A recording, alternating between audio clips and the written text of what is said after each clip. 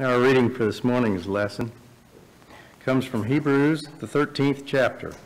Hebrews 13, starting at verse 1. Let brotherly love continue. Be not forgetful to entertain strangers, for thereby some have entertained angels unawares. Remember them that are in bonds, as bonds with them, and with the, and them which suffer adversity, as being yourselves also in the body.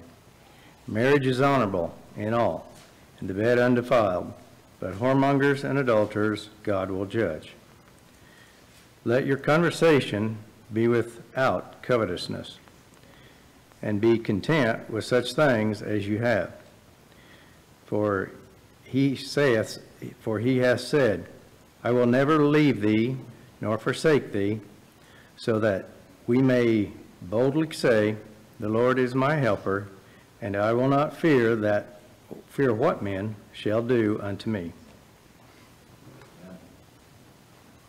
Mark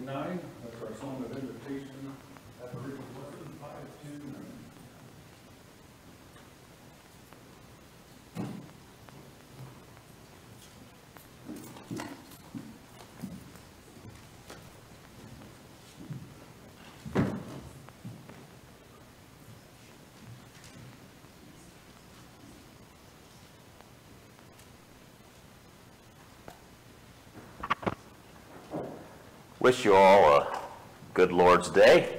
Happy to have your presence this morning. Title of this lesson is called Let Brotherly Love Continue, as based on our reading that Larry gave us just a few moments ago. It is always a good time to consider hospitality. Are we truly a welcoming group? We talk about brotherly love, but do we know what it is? Do we practice it? And we should be practicing what the Lord has taught us because he has not changed. And we do see some of these lessons in Hebrews, the 13th chapter. Beginning in the reading in Hebrews 13, turn with me there to verse 1. It reads, Let brotherly love continue. Be not forgetful to entertain strangers, for thereby some have entertained angels unawares. Remember them that are in bonds as bound with them, and them which suffer adversity as being yourselves also in the body. Verse 1, it talks about the love that people extend to others by the common relationships that we have in the family of God. And we should observe those things and let them continue throughout our lives. Verse 2, it talks about, you know, as in Genesis 18, not to forget to entertain strangers, because sometimes you might be entertaining someone a lot higher in stature than you realize, such as an angel. And in verse 3, it says not to forget the Christians who are in chains, who are in persecutions, because we need to look at ourselves and consider ourselves as partakers of that persecution as well, because we could be there also. We need to be united as Christians. We need to be united, rejoicing and mourning when we rejoice and we mourn. Matthew 7 verse 7 it reads, Ask and it shall be given you, seek and ye shall find, knock and it shall be opened unto you. For everyone that asketh receiveth, and he that seeketh findeth, and to him that knocketh it shall be opened. Or what man is there of you, whom if his son ask bread, will he give him a stone? If he ask a fish, will he give a serpent? Or if then you then being evil know how to give good gifts unto your children, how much more shall your Father which is in heaven give good things to them that ask him? Therefore all things whatsoever you would that men should do to you, do ye even so to them, for this is the law and the prophets. And as in 1 Corinthians 12, verses 12 through 31, we need to be one and to have brotherly love, to be united. In verse 12, for as the body is one and hath many members, and all the members of that one body, being many, are in are one body, so also is Christ. For by one Spirit are we all baptized into one body, whether we be Jews or Gentiles, whether we be bond or free, and have been all made to drink into one spirit. For the body is not one member, but many. If the foot shall say, Because I am not the hand, I am not of the body, is it therefore not of the body? If the ear shall say, Because I am not the eye, I am not of the body, is it therefore not of the body? If the whole body were an eye, where were the hearing? If the whole were hearing, where were the smelling? But now hath God set the members, every one of them in the body, as it hath pleased him. And if they were all one member, where were the body? But now are they many members, yet but one body. And the eye cannot say to the hand, I have no need of thee, nor again the head to the feet, I have no need of you. Nay, much more those members of the body which seem to be more feeble are necessary. And those members of the body which we think to be less honorable, upon these we bestow more abundant honor. And our uncomely parts have more abundant comeliness, for our comely parts have no need. But God hath tempered the body together, having given more abundant honor to that part which lacked, that there should be no schism in the body, but that the members should have the same care one for another. And whether one member suffer, all the members suffer with it or one member be honored, all the members rejoice with it. Now you are the body of Christ, and members in particular. And God hath set some in the church, first apostles, secondarily prophets, thirdly teachers, after that miracles and gifts of healings, helps, governments, diversities of tongues. Are all apostles? Are all prophets? Are all teachers? Are all workers of miracles? Have all the gifts of healing?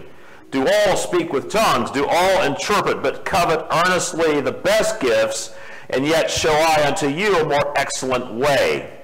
So we have to realize that to be united is to indicate that there is a reason to be united. Could you imagine if one foot wanted to go this way and one foot wanted to go the other? What would you do? You'd either be doing the splits or you'd be falling on your face. That wouldn't work out real well, would it? You know, and what part of the body do you want to sacrifice? If I said, okay, Jeff, I'm going, you, well, he's, he's got his eye, he's, uh, maybe he's practiced sacrificing today, but you know what? If you've met someone who's lost a body part and you'll say, do you miss that body part? They'll say yes. I had a grandfather who had the tip of his right index finger gone and he had been gone for years and years and years. And you say, Grandpa, did you ever try to use that part of your finger? And he said, Of course. 50, 60 years later, he still missed that body part, even though we would think the tip of our finger wouldn't be that big a deal. But it's definitely a big deal.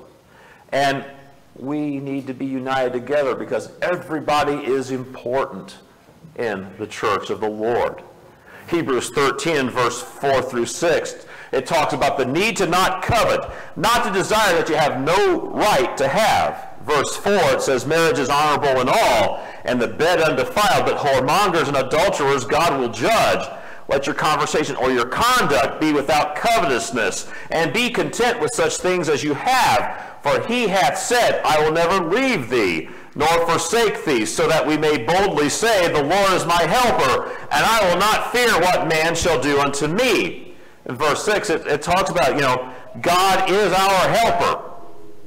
But we often forget to put things in God's hands. You know what? God gives us free will, and he says, okay, go ahead and do it yourself if you want to. But God can help us do anything. And we have to remember those things.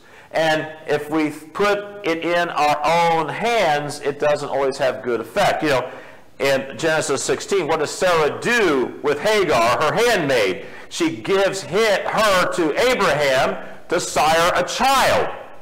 And having a son, instead of trusting in what was promised to them, that they would have a son. You know, it says, and the Lord said to Abram, and Get thee out of thy country and from thy kindred and from thy father's house into a land that I will show thee. And I will make of thee a great nation. I will bless thee and make thy name great, and thou shalt be a blessing. And I will bless them that bless thee, and curse him that curseth thee. And in thee shall all families of the earth be blessed. So Abram departed as the Lord had spoken unto him, And Lot went with him, and Abram was seventy and five years old when he departed out of Haran. And God took Sarai his wife, and Lot his brother's son, and all their substance that they had gathered, and the souls that they had gotten in Haran, and they went forth to go into the land of Canaan, and into the land of Canaan they came. See, Abraham, at that time, Abram had been uh, promised blessings through his seed. But they decided to help God along and it wasn't the way God wanted. Ishmael came, and he was a wild man, and he was not the one that was to have this blessing. But God will bless us. You know, the Sermon on the Mount in Matthew 5, and seeing the multitudes, Jesus goes up into a mountain. He went up into a mountain, and when he was set, his disciples came to him, and he opened his mouth and taught them, saying, Blessed are the poor in spirit, for theirs is the kingdom of heaven. Blessed are they that mourn, for they shall be comforted. Blessed are the meek, for they shall inherit the earth. Blessed are they which do hunger and thirst after righteousness, for they shall be filled. Blessed are the merciful, for they shall obtain mercy. Blessed are the pure in heart, for they shall see God. Blessed are the peacemakers, for they shall be called the children of God. Blessed are they which are persecuted for righteousness' sake, for theirs is the kingdom of heaven.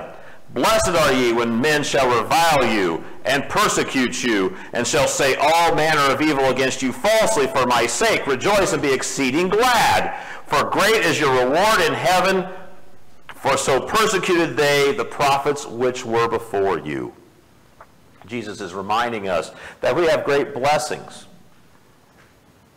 But even if we're persecuted for righteousness' sake, we shouldn't sit there and say, What have I done wrong?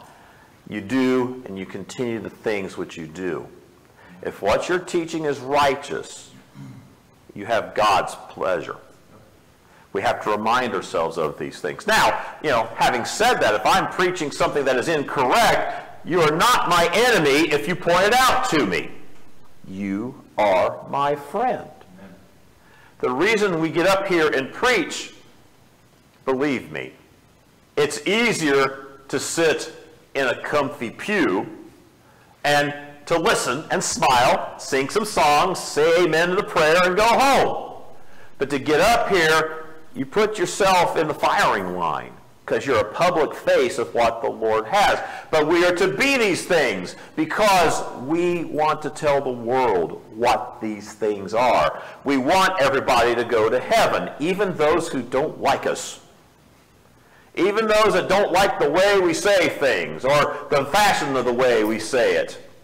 You know, but we can't do anything but do what is righteous. And that is what the Lord will judge. You know, Hebrews 13 and verse 7, it reads, Remember them which have the rule over you, who have spoken unto you the word of God, whose faith follow, considering the end of their conversation Jesus Christ the same yesterday and today and forever.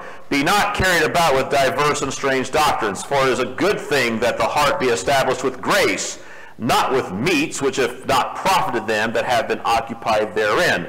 We are to remember the elders who have the rule over the local church. Why do we want to remember those who have the rule over us? Because God asks us, He desires us, and He expects us to respect our leaders. That includes the secular leaders. You know, Romans 13, 1 through 7, let every soul be subject unto the higher powers, for there is no power but of God. The powers that be are ordained of God. Whosoever therefore resisteth the power resisteth the ordinance of God, and they that resist shall receive to themselves damnation. For rulers are not a terror to good works, but to the evil. Wilt thou then Wilt thou then not be afraid of the power? Do that which is good, and thou shalt have praise of the same. For he is the minister of God to thee for good. But if thou do that which is evil, be afraid. For he beareth not the sword in vain. For he is the minister of God, a revenger to execute wrath upon him that doeth evil.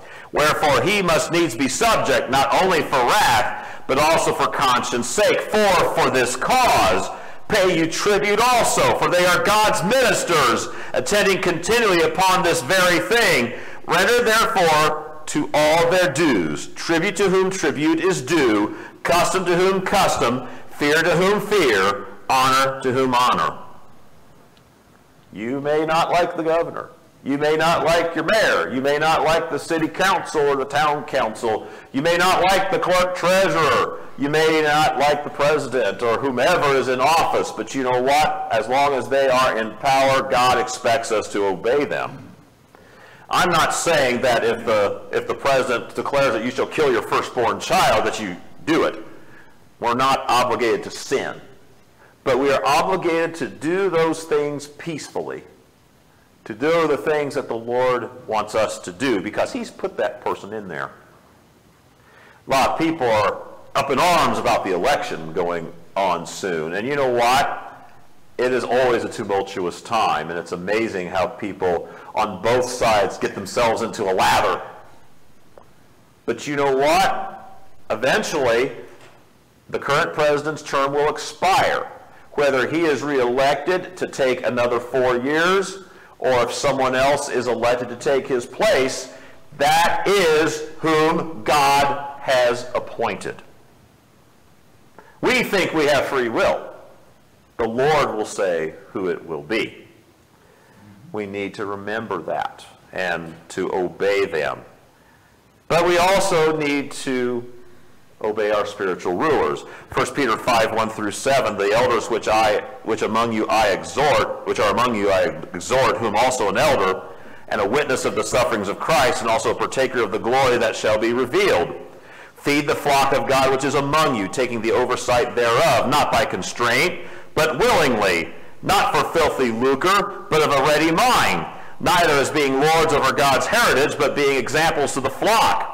And when the chief shepherd shall appear, you shall receive a crown of glory that fadeth not away. Likewise, you younger, submit yourselves to the elder. Yea, all of you, be subject one to another, and be clothed with humility. For God resisteth the proud, and giveth grace to the humble. Humble yourselves, therefore, under the mighty hand of God, that he may exalt you in due time, casting all your care upon him, for he careth for you. Verse 8, it says, Jesus Christ the same yesterday and today and forever. Malachi 3, 1 through 6. It talks about that. Verse 6, it says specifically, For I am the Lord, I change not. Therefore, you sons of Jacob are not consumed. And in verse 8, it's a warning against diverse and strange doctrines. 2 Timothy 3, 1 through 9. This know also that in the last days perilous times shall come. For men shall be lovers of their own selves, covetous, boasters, proud, blasphemers, disobedient to parents, unthankful, unholy, without natural affection, truce breakers, incontinent, fierce, despisers of those that are good, traitors, heady, high-minded, lovers of pleasures more than lovers of God, having a form of godliness but denying the power thereof. From such turn away. For of this sort are they which creep into houses, and leave captive silly women laden with sins, led away with diverse lusts, ever learning and never able to come to the knowledge of the truth. Now, as, Jambres, as Jannes and Jambres withstood Moses, so do these also resist the truth. Men of corrupt minds reprobate concerning the faith, but they shall proceed no further, for their folly shall be manifest unto all men, as theirs also was. You know, people love their own selves. And it's very easy to get into that mindset when you have a place that is supposedly of great stature. People are saying, well, you just love hearing your own voice. You know what? I've heard pe people have told me that for 40 years. You just love the sound of your voice. And I'll tell you something. There is nothing I hate to hear more than a recording of my voice. I hate it. I think I have the worst voice on earth. And people say, you have a great voice. I don't believe you. I don't. I wish I was lying. I, I don't like my voice.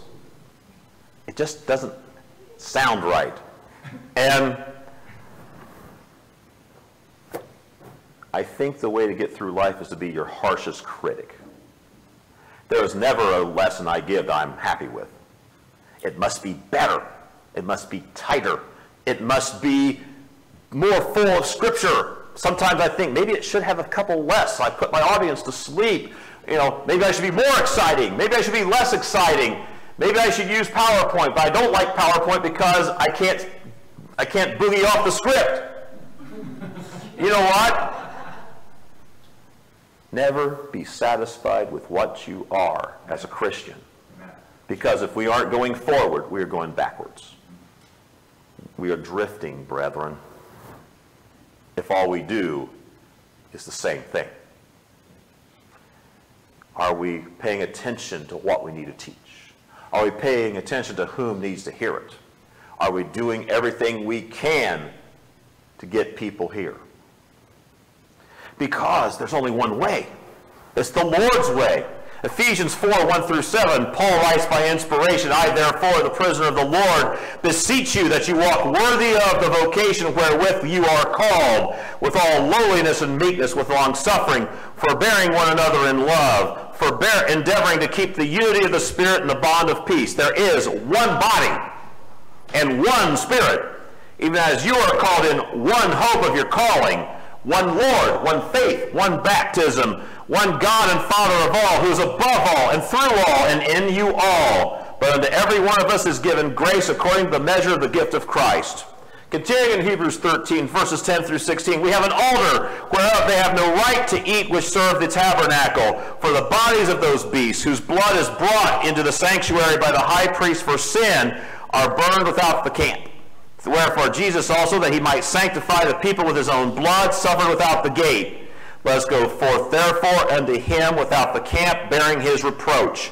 For here we have no continuing city, but we seek one to come. By him therefore let us offer the sacrifice of praise to God continually. That is, the fruit of our lips giving thanks to his name, but to do good and to communicate forget not, for with such sacrifices God is well pleased. You know, like the bones of sacrificed animals outside the Israelites' camp. Jesus was sacrificed outside Jerusalem. We also need to be willing to serve Jesus, to bear his reproach. We seek the city of God, the new Jerusalem in heaven.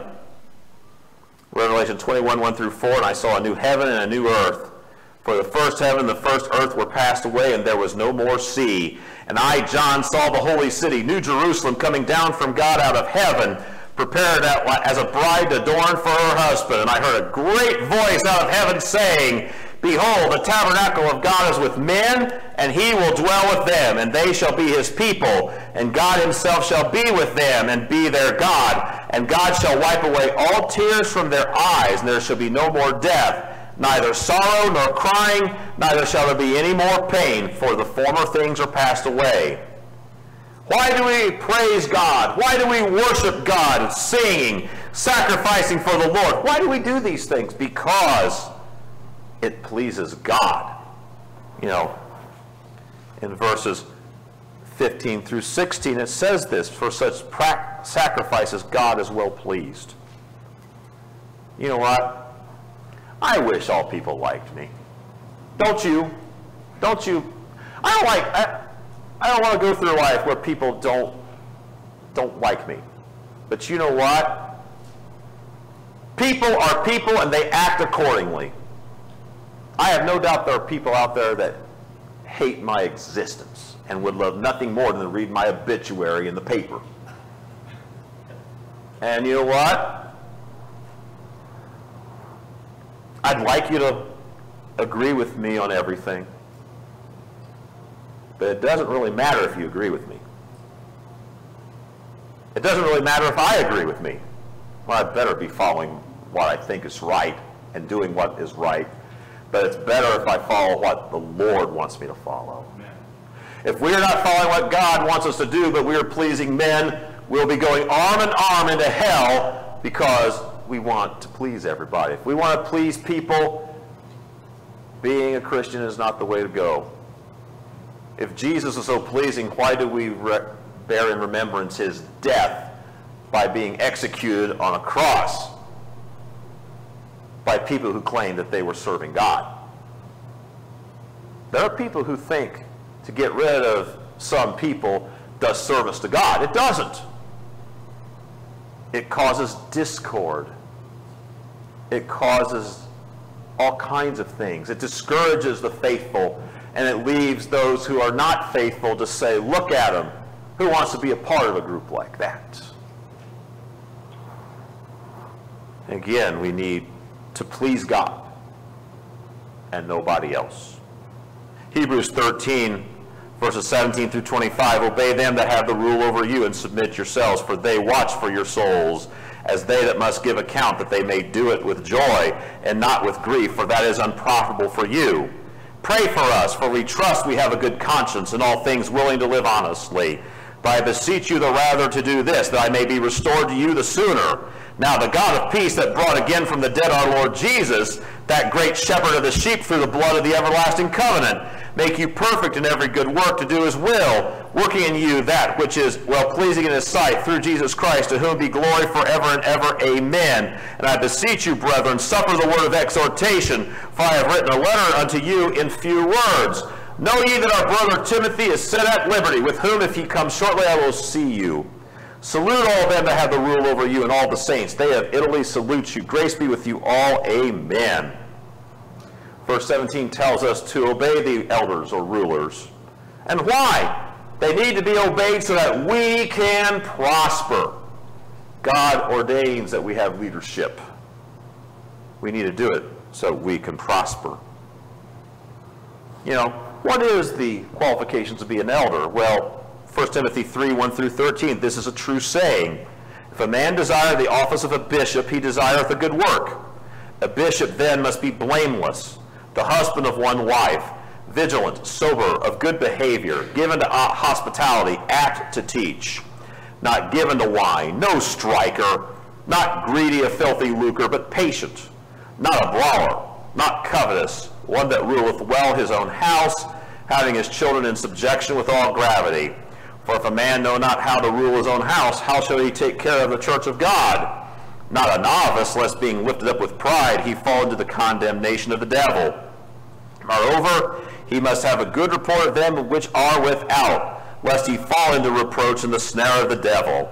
Likewise must the deacons be grave, not double-tongued, not given to much wine, not greedy of filthy lucre, holding the mystery of the faith in a pure conscience. And let those also first be proved then let them use the office of a deacon, being found blameless.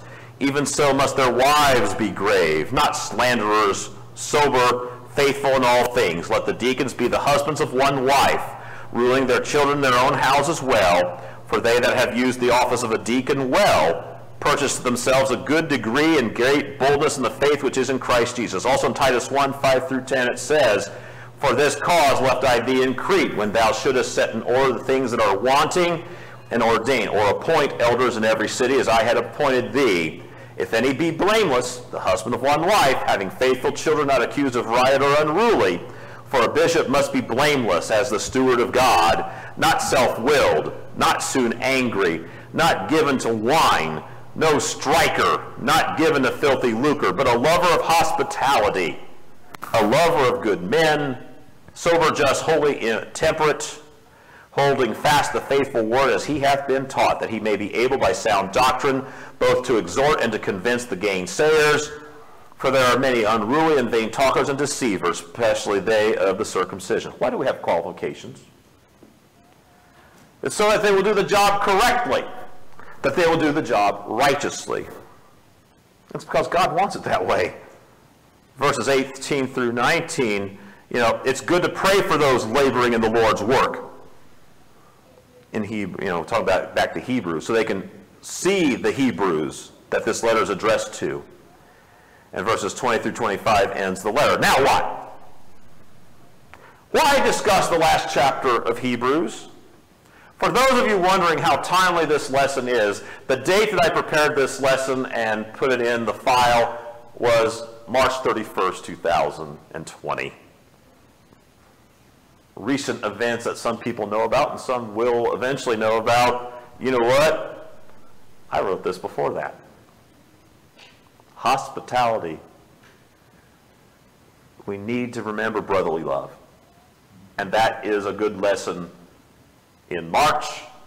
But let's face it, every, every month, every day, every year is a time to follow brotherly love. So to summarize the lesson, we need to follow brotherly love as stated, to be hospitable and remember those who are imprisoned. It is a reminder that marriage is better than that of following the way of the adulterer or the whoremonger. Don't covet either. Be content with what God has given us because the Lord is our helper. And don't forget those who rule over us. And remember that God, the Father, and His Son, and the Holy Ghost, they're all unchanging. To avoid untrue or new doctrines. Be mindful of how Jesus is the sacrifice for us. And we are to sacrifice ourselves also as it pleases God, to praise God. And there is much to come. And don't forget to pray. In other words, do those things that serve God, those things that help us go to heaven.